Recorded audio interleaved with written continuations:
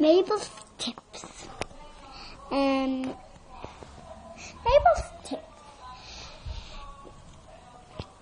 Give your man what he needs. I, I want you to freshen, and it's John. I want you to do that. Just you.